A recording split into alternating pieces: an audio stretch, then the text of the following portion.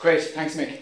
Um, thanks to everyone for coming along and showing your interest um, in what is one of the, the key social issues at the moment in Ireland. Um, just to, I suppose, follow on, what I'm going to do today is to try and give an overview um, from both an academic perspective but also policy analyst, policy analysts um, of housing, the, the housing crisis at the moment in Ireland.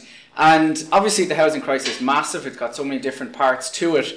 So, at a certain amount, I'm going to run through quickly some things. Um, I know some of you will know this inside out, um, and some of you might be new, so I was kind of thinking how I might balance. So, apologies to those um, who some of this will be very familiar to you.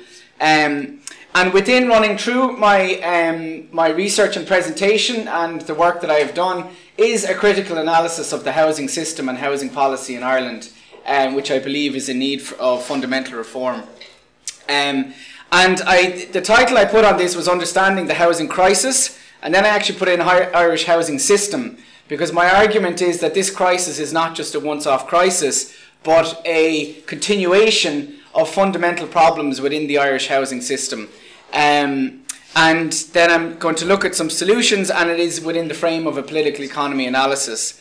Um, so the three kind of parts of the, the presentation that I hope to, to cover, there's lots and lots of slides in here that I won't get near, but they'll be available on the website, so you can look through them in your own time. Um, the first thing is the housing crisis and what is the nature of that crisis, and particularly looking at the social impacts. The second thing is the causes, and I make the case that the current housing crisis is largely as a result of um, the austerity policies that were pursued through from 2008 onwards, but also the way in which um, governments responded to that crash um, and the initial housing um, crisis of you know the, of the 2000s that was um, burying. But it also links back to wider processes of financialisation globally and um, housing policy, which has been largely neoliberal in Ireland um, for a number of decades.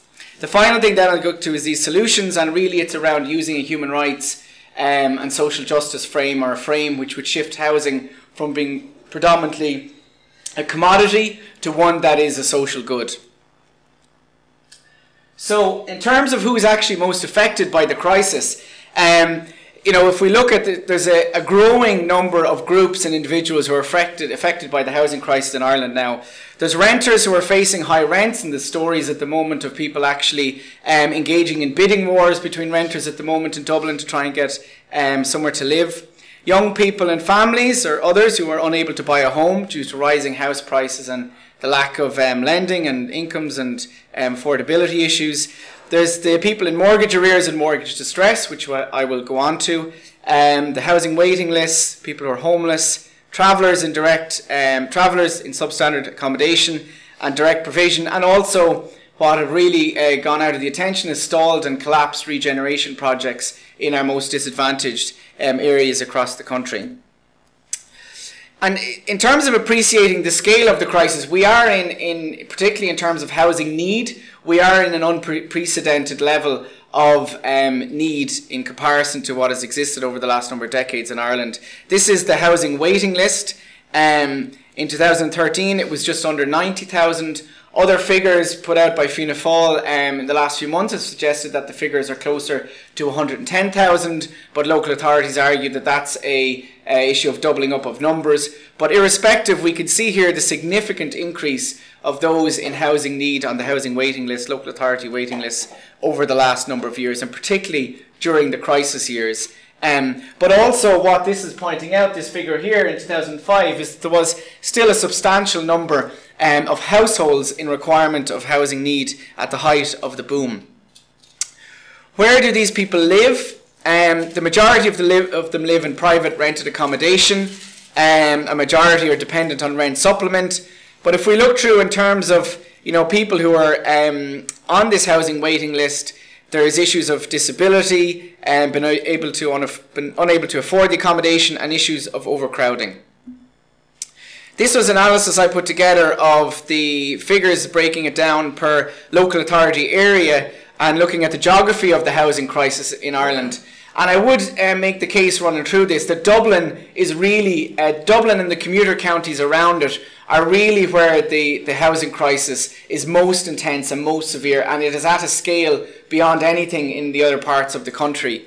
Um, if we look at the actual numbers, you know, 31,000 on the waiting list in Dublin. Um, we see rental prices there. These are 2000 and it was I did it last 2014 figures. Rents, um, average rents up to 1400, um, increasing by 14%. And then I put in there um, the projected increases based on the Housing Agency analysis of household formation. Um, and Dublin is the highest where new households are coming on board, and this is the, the requirement for housing. Um, Cork is next, then, about a third of the amount of housing, uh, those on that waiting list. And we see rents here significantly lower than they are in Dublin.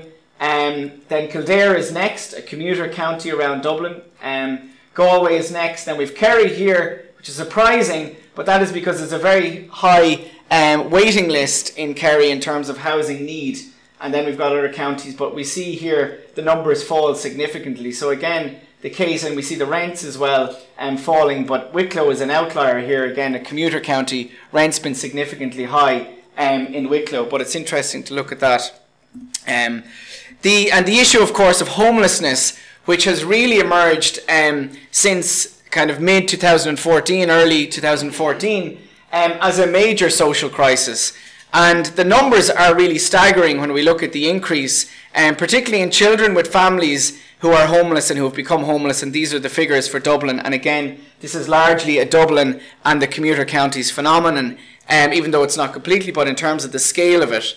Um, we're now at, in January, um, 1,500 children um, who are in emergency accommodation in Dublin. And what was significant in that is that there was a decrease in the number of families becoming homeless in December down to it was it went dropped I think to around 75 but then that substantially increased to 165 in January just gone so this sense that was the crisis abating um, is clearly not the case um, these are images from um, this was quite I thought quite a, um, a symbolic and um, situation was there's 14 families who were be, being made homeless from a hostel, which is their emergency accommodation because they've already been homeless in Mountjoy Square in Dublin.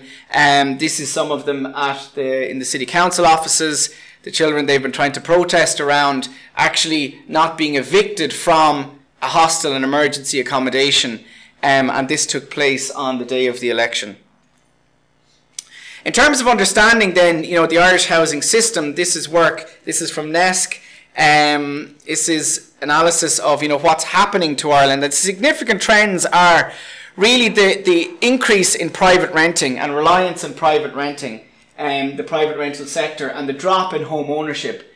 In 1991, um, 80% of households um, owned their home in Ireland. That has now dropped to 70% and has probably dropped further since then. Um, and this increase in private renting over doubling um, 8% of 10 years, 8% of households to now almost a fifth of all households are in the rented, um, the private rented sector. The other f- significant change over time has been the drop in local authority housing from almost a fifth of housing in 1961 to around 9% um, in 2011. Um, and the real sort of housing crisis, in a way, is this within the private rented sector? Um, and it sort of is, is spilling over into lots of other areas, and of course, it comes from these different factors um, leading to it. One of them, and one of the other interesting trends, again, this is from NESC, um, is this decline in home ownership amongst lower income households. And if we look at it, we can see that um, in terms, this is a percentage of heads of households who are owner occupiers by social class. So if we look in 1991, um, there was amongst the semi-skilled um, class, they were there was 77% were homeowners, but we see this declining to 63% in 2011, and then the unskilled social class home ownership dropping from 64% to 49%. Now, there's an age factor in there as well, but it does show this decline in home ownership amongst lower income groups. And again, this is due to the, the reduction in social housing and particularly the availability to buy of social housing. Um, that shows the same thing. So the case is really that the private rented sector has become essential to the housing system in Ireland, and so what goes on in the private rented sector is really important, and it's particularly important for lower income groups because of the inability to buy their home, but also people, younger people who are unable to um, to buy their home as well. Um, and within this, we're seeing the importance of private rented, the private rented sector for social housing, in that a third of the sector is now being subsidised to some extent by um, by the state, as in it's providing some form of social housing. And between the various forms of um, government support to those on low incomes, we're roughly paying about half a billion a year now to the private rented sector, private landlords. So what's happening then in terms of rents? You're well aware these are the trends of rent significantly rising over through 2013, 14, and 15 back in Dublin, um, almost to um, they are back in Dublin, sorry, Dublin here, to um, pre crisis levels of rents. The, there's a major issue of supply of housing this, within the rental sector. This is the collapse um, of supply of rental accommodation. Interesting to look at the, um, the research done by um, the PRTB, the Private Rented um, Tenancy Board, around why people are still in the private rented sector. And we see here the reasons why tenants are renting a significant proportion is it because it's because they can't get a mortgage, they're not earning enough, um, or they can't find a suitable property to buy. And if we look at why tenants are saying they prefer to own their home rather than rent, um, 65% say the most important thing is to decorate and furnish their own home. They would prefer to purchase their home as just a statement. No security with renting, 54%. The investment is property being investment, 49%, something to pass to the next generation, 41%, um, and not suitable for family living, 24%. But what is significant is the lack of security with renting is actually more important than it being an investment, which is something to think about in terms of our changing housing system. Um, these are further. The affordability of rent then has become a major issue. A single person average earnings um, would be allocating between 40% and in some cases up to 55% of their income on rent now. Um, a sustainable rent is considered to be about 30% of your rent. This then is the issue of rent supplement. So that's what um, people who are on lower incomes and um, who aren't able to afford accommodation get to live in the get if they're living in the private rented sector. The rent supplement for Dublin for a couple, um, a couple with one child is 850 euros. The average rent in the north of Dublin City is 1,300 euro. So these are people who are on very low incomes or reliant on social welfare are expected to find up to 500 euros per month as a top up. And this is what is really, in many ways, the, uh, the NGOs, in particular housing NGOs, are arguing is causing homelessness. This gap between the rent supplement and the rent is forcing people um, into homelessness, particularly those those on low incomes. Um, the in terms of again, this is back to the case about Dublin. That really this is a Dublin crisis. If we look at where the majority of rental properties are, over forty percent of rental properties in the country are in Dublin. Um, then the Mid East is about nineteen percent. So between the Mid East, which you would put um, as the kind of the um, commuter counties and Dublin, you've got 60%. It's a Dublin and the commuter counties um, is where the renting is. This is the, again, if we look at where is the, you know, there's a talk about housing supply and demand, and there's going to be this demand for increased housing. The overwhelming majority of it is in Dublin. So there is this, this crisis within the private rented sector um, which, as I've said, that, that higher rents are resulting in people becoming homeless. Also, the um, people are becoming homeless because of the issue of the um, the repossession of buy-to-let properties, which I'll come on to a little bit. But I made a quite. It's a bit of a facetious point, but. Um, the, the, mantra is that rents are rising because supply is being uh, is is falling significantly. The lack of supply of rental accommodation, but rents increase because landlords increase them. It's as simple as that. Um, if there was rent controls in place or rent certainty, landlords would not be able to increase the rents. Um, and it is a point that I think needs to be made more. Um, There is an issue as well in terms of looking at the economic impact of the housing crisis. The, the housing crisis is really starting to impact, I would argue, on our economic development and our competitiveness, particularly in terms of returning immigrants. Talk a lot about the cost of housing in Ireland as a reason why they're not returning. Um, people are not able to take up employment in Dublin because of the high rent, the high housing costs. But also, then it is pushing for people to require higher wages. There's obviously impacts in terms of people on deprivation um, pushing people into deprivation. But the housing crisis is having an impact on our economic development at this point. Um, I'm going to move on. These are how I afford. The what I want to talk about is, and I, I weave this within the in it, is that what happened in Ireland has happened is, is part of a global um, process, particularly in the US. Um, is is this process of financialization of home ownership and commodification of housing and the way in which housing um, and property has become integrated into the accumulation of capital, the accumulation of wealth globally as a key method of accumulating wealth. Um, and really, this started or you know accelerated with the rise of neoliberalism, the deregulation of the financial markets in the 1980s, um, and has accelerated and is part of this rise of the global financial system.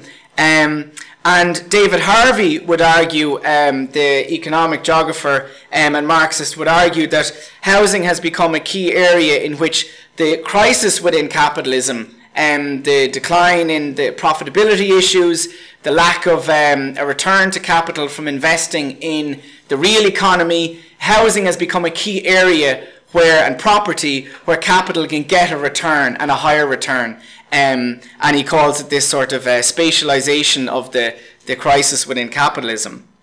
Um, but of course, again, a contradiction within this is as housing has become and property has become more financialized, it has led to a problem of indebtedness.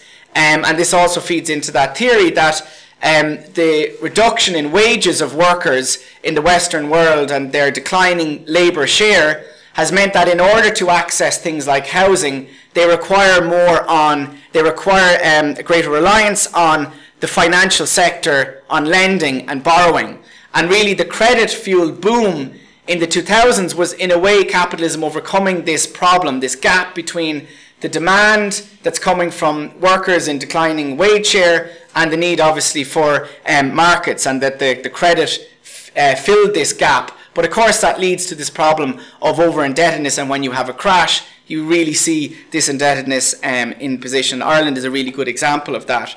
And Ireland is an example of this financialisation, the way in which the, this um, residential investment letting, so housing as an investment, became a really important part of housing lending during the boom. So we see here that, um, particularly in the in the latter stages, this rise, this is people who are buying properties to let, buying it as an investment. It all, at one point in 2007, it was almost equal, um, or sorry, it actually went above those who were first-time buyers in terms of their. I'm trying to look at the colours here. Or was there? It was roughly equal to first-time buyers. So as much as much money was been given out for people to buy housing as an investment as was for people to buy their their home for the first time.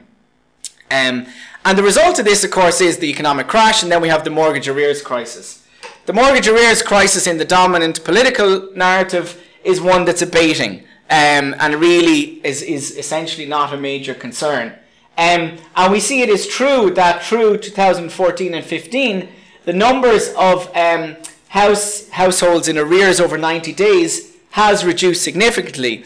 But I've undertaken analysis of this, um, these figures from the central bank, their um, household figures around the mortgages, and what I've found is that um, I took first of all took an overall look at okay, what was the situation in terms of arrears in Ireland, and I of all the um, what I found was that of all the mortgages, and this is for primary dwelling homes, uh, houses, so that's not including the buy to let sector, um, almost thirty percent of housing of households who had a mortgage for their home in Ireland went into some form of arrears during the crisis. And that's a massive proportion of um, housing distress. In Ireland, in comparison then to uh, at a European level in the crisis, we have had one of the highest levels of default, um, of arrears in uh, Europe, which again is, is very significant. And if we look at the, the legacy of this, again, this argument of financialisation, this indebtedness, we see here, these are figures from just last year. Ireland is the fourth highest in terms of household debt as a proportion of net disposable income. And we see this legacy of the crash in terms of this huge indebtedness and legacy of financialisation of housing um, and commodification of housing in this massive indebtedness of households. So in terms of the figures then on arrears, um, the, the, while the number in, in arrears on those in arrears over 90 days has declined, and that's the headline figure, if you drill into it, those in arrears over 720 days has increased by almost 45% in the last um, three or four years. So, and 12% of the entire residential mortgage accounts, that includes buy to lets, are still in arrears. Um, and so these are the figures showing that if we look at those in arrears on their home over 720 days, has increased from 25,000 in 2013 to, to 37,000 in the last quarter, third quarter of 2015. So this is almost like a hidden uh, crisis that has really not got much coverage. And I would argue that the portrayal, even by the central bank, of the mortgage arrears system of situation is um, is uh, unfair in the way they seem to be downplaying this. And of course, there's lots of reasons why they are downplaying this. Um, if we look at even over 90 days, those arrears over 90 days, as a percentage of the total stock, it has actually increased. So in 2015, it was 5% of the mortgage stock in comparison to 2% in 2013. Um, and the big reason why this drop in um, arrears took place in those over 90 days is this restructuring process. Um, and I found that the number of in arrears dropped by 50,000 between 2013 and 2015, while the number of restructured mortgages rose between around 40,000. So there's only 10,000 in a difference. You could argue only 10,000 actually solved their mortgage arrears situation because the restructuring includes this massive range to from what the central bank itself describes as unsustainable restructuring processes to uh, mortgage debt being added on to the end of the mortgage life um, to reduced interest rates, to interest holidays. They're not really sustainable solutions. Um, and we see this huge increase in the number of restructuring, uh, restructured mortgages. So we now have 120. Buy to lets then is the other area. So that was primary um, dwelling homes. and a fifth of, which is much higher than the, the primary dwelling home, a fifth of buy to lets are still in arrears over 180 days. 11% are in arrears over 720 days. And this is really where I would argue, um, and the NGOs, housing NGOs are making the case, this is really hitting the homelessness because these properties are starting to be repossessed by the banks and tenants in those properties are being evicted essentially um, as the banks look to either sell the property or get in higher paid tenants. Repossessions then, I've put uh, the figures together for these as well. Look at what has happened in Ireland in terms of repossessions. There have been approximately 4,000 repossessions so far, um, which is much, much lower than, for example, Spain. Um, and I would argue that there was a political decision taken to not go after um, um, to not go after to repossess homes because of the historical connections in Ireland with repossessions. Um, but what we're seeing is that there's still, um, I've done the figures at roughly you could see repossession figures five or six times this number. So up to 20, 30,000 of homes repossessed in the coming years if this proportion continues um, or if the situation accelerates. So we see a housing crisis that we think exists in terms of we see homelessness or rents. There's this whole other crisis just sitting there um, ongoing and waiting to explode as well. Um, okay, move on, Rory Mick says. Wealth in uh, housing, there's a whole load of stuff I'm not going to get. Okay wealth in housing. This is, I'm just going to briefly run through this. Um, we're seeing here uh, housing plays a key role in wealth, uh, in wealth distribution. And what's interesting is in Ireland that uh, housing as across the, te- um, the income deciles, ownership of housing is much higher across the board. Um, housing wealth has increased over the last number of years due to rising housing uh, house prices, uh, but also financial wealth has increased as well. If we look at the share of net wealth in Ireland, the top 10% have roughly 70%, or top 20% have roughly 70% of the net wealth. Um, and this is largely due to both housing assets and financial assets. We can see here in terms of financial assets, again, overwhelming the top two deciles have that. Land, again, really skewed in terms of the de- top deciles in wealth have land. Again, that would be a lot of agricultural land as well.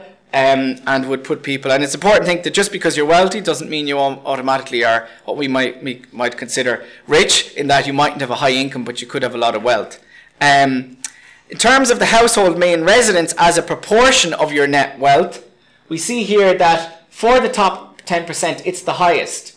And so we see that housing wealth is predominantly held by the higher deciles in Ireland. So it is a, a way in which wealth inequality is worsened. Um, particularly when you look at things like who owns their home, this is analysis done by TASC. Um, single parents have the lowest um, level of home ownership, and in terms of wealth distribution, we see how that impacts that. Um, interestingly, when we look at the deciles, then of the who owns their home, sixty percent um, of those in the bottom two deciles own their home, 57% in the uh, second two deciles, but it goes up to 90% in the top. Um, and when we see the, the, the proportion of their housing, so housing is really important as the, fa- the proportion of people's wealth in the lower deciles. In the top ones, it's not so much because they have financial assets as well. Um, so that's slight interesting aside. The housing system in Ireland, I would argue, really entrenches structural inequalities because it is a way in which spatial segregation, the classes are spatially segregated. This is a map of deprivation, and we can see how it is very spatially concentrated. And housing is a key way in which inequality, structural inequality, is continued um, and is enforced in a way as people separate themselves according to income um, and it has lots of other factors that I don't have time to go into. Okay, why the crisis? I've in part gone into that. Um, the large case is this, um, this I would argue, this ideological commitment amongst the Irish uh, political po- and policy makers, this commitment to belief in private investment and the private market system. Um, and the financialisation of housing, housing being seen as a speculative asset and investment, but also this global financialisation process and the perception and belief that social housing is a failure, that um, really social housing is not something to be developed in this neoliberal view of social housing. Um, and then, as I said, that the crisis has resulted from the way in which, and I would argue that there was a displacement of the cost of the crisis onto from the banks, um, the investors, bondholders, onto the people, and they've paid that through austerity. So, for example, um, if austerity, the, the social housing budgets were cut much, much more than other budgets. So I've calculated that if the austerity budgets had not happened in social housing, we would have an additional 25,000 local authority units built through the austerity period. So we can see very clearly the socialisation of the cost of dealing with the crisis was put on the most vulnerable. We would not have a housing crisis if austerity was not implemented the way it was in terms of um, the cuts to local authority housing. Nothing to the degree in which we have. The other area is the way in which they contrast the debt write offs for um, developers, for the banks, to what has happened to the mortgage arrears and those in mortgage arrears. Also, NAMA. NAMA has become a key way in which the housing crisis and the economic crisis in Ireland was dealt with and solved. But all NAMA did was displace the cost of the crisis again onto Irish people, and it is displacing it into the future. Because if we look at NAMA, um, and sorry, this is the, the, the what shows the collapse in local authority and um, voluntary cooperative social housing building. This is the price that was paid in austerity, and I really think it, it counters the argument that austerity worked in Ireland. Um, there was political choices made in terms of who to bear the brunt, and this was one of them. And we see this crisis resulting from it. Um, this is sorry, and in terms of yeah, the I won't go into okay. In terms of moving on, I would argue I've described it. There's a there's a, a, a property political industrial complex in Ireland which combines the property industry, finance, the media, um, and those who own property and significant owners of property. Um, and they really, the, the current property market um, is operated for them. And in terms of political economy, it's really interesting to look at the way the rising property market played a central role in the government's strategy for economic recovery. Um, and in particularly for, I would argue, the psychological sense that people were in a recovery. Um, and it's also why the in the election, I believe, that the government was rejected. Uh, housing was a key area. One of the issues was NAMA. NAMA was part, key part of that. The government made the case for winding NAMA up early um, and dealing with the problem. But of course, to, to require to do that required a rising property market, which um, similarly with the banks, one of the key ways the banks were going to be fixed was if the property market continued to rise, less properties in negative equity, their balance sheets looked better. But of course, the cost of that is not dealing with the mortgage arrears crisis, and the cost, I would argue as well, was not implementing rent control. Because if they'd implemented rent control um, in a serious way and not the rent freeze, that would seriously dampen house prices. I would also argue that it's why Michael Noonan and the government have been so incensed by the central bank's mortgage rules because they are putting a dampening on house prices as well. And that severely um, impacts on their ability to achieve these political goals that they had to show that they were um, um, achieving the recovery. The other aspect has been interesting is NAMA, but also the REITs, the Real Estate Investment Trusts, have been a way that the government and the state has promoted financialisation on an ongoing basis after the crash, even despite its key role in the cause of the crash. Um, and we're seeing um, real estate investment trusts coming into Ireland, buying up um, investment. And I just want to read this is an article from the Sunday uh, Independent two weeks ago, and it just shows what's happening in terms of this financialisation of Irish housing. And the, the heading is International Buyers Prompt Surge in Multifamily Sales. They're not talking about sales of families, they're talking about sales of apartments, groups of apartments. Um, and it, it, it, says that the appearance of big investment firms from overseas on the Irish property scene over the past few years has helped push sales of apartments to more than a tenth of the total number of property sales. So they're saying that 47,000 housing units were sold in Dublin between 2012 and 2015. Of those, 5,000 were traded in these multifamily blocks. Um, some blocks have been bought by wealthy individuals and consortia like Kennedy Wilson and Marathon Asset Management. So the Savills director of research commented on this and he said corporate investors were quick to spot the mismatch between dormant construction output and continued population growth. They correctly interpreted this would lead to increases in rents and capital values and took the opportunity to buy up vacant blocks early in the recovery cycle. Um, and they're saying, so it goes on to say that, um, that the last week the IRES, which is the uh, REIT, the Real Estate Investment Trust chief executive, warned investors that the government's rent certainty measures would hurt the company's bottom line in the months ahead. So again, we're seeing that you know this way in which the through NAMA and the REITs, Ireland's property and housing has been further financialised, but also the political impact in terms of influence. I know. Give me a couple of minutes, okay? Um, a couple of minutes and I'll get there.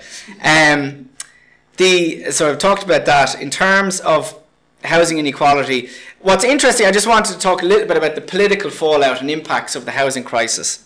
What's really interesting, and I would argue that housing actually played a key role, the crisis, in the rejection of the government. Um, and because it went in that frame of, if you anybody was watching the debates, the housing issue, homelessness, was constantly pointed to as one of the reasons why the recovery wasn't really a recovery. Um, and particularly, the point was made: why should we? Um, the public opposed the agenda of tax cuts been offered because they said tax cuts are crazy when we've people on the streets. And that was a real sentiment. And it was shown in the opinion polls. Um, the, this was a poll done for, by the Sunday Independent by Millward Brown. And it was said, asked voters, what was the most important issues or problems that will influence your decision as to how you will vote? Health was first, unemployment was next, crime and order. But the homeless situation, lack of authority housing, came in at 9%, higher than the water charges issue. The next one was mortgage repayment rates and house prices was 7%. If you put 7 and 9, you get 16 together. The housing issue was actually second as an issue that was going to influence how people voted. Um, this is on the right hand side is Eurobarometer, the survey I found, which looked at um, Irish people's attitudes to what they cited was the most important issue in Ireland. Housing, they cited, was the most important issue. 34% cited. Unemployment was next, health and security. Taxation came in at 9%. This is in large reason why the government's narrative of offering tax cuts didn't work, because people have seen the crisis and they're affected by it and they realise that public investment is required. Fianna Fáil, interestingly, put housing as they said they said three core priorities in their manifesto. The fourth was secure home ownership and tackle homelessness. It was a key issue. Um, and if you look at their, their housing, then they talk about strengthening, strengthening the right to own, but creating homes for social housing, help generation rent, which they talk about, and uh, ending long term homelessness. Housing was a major issue. And also, how that became was because there's been this emergence of grassroots housing campaigns. Um, and even the right to water movement, as it has evolved into right to change, has taken on the housing issue as a key issue. And the housing issue, I would argue, the crisis adding to new social movement politics in Ireland, which is related to the institutional failure to deal with these social issues um, and these exams. And in this context, I think there's an opportunity for a new government to really change a direction in terms of housing um, and to move it away from the property spe- speculative investment model um, to one where ho- housing is seen as primarily meeting people's need for a home and particularly not relying on the private market industry and speculators. And to change that policy, the state really needs to play a leading role, not just in the delivery of housing, but in coordinating and ensuring and regulating, um, and particularly around strengthening tenants' rights. So, ideas I have, which I don't have time to go into now, is things like a new housing and homes agency that would integrate NAMA, compulsory purchasing of land, fast tracking, fast tracking the vacant site tax, which doesn't come in until, until 2013. Um, changing NAMA into an affordable homes agency, the lifetime of it being extended. It shouldn't be, be tried to uh, wound up soon. NAMA has the land and assets to provide approximately 50,000 housing units over the next eight years.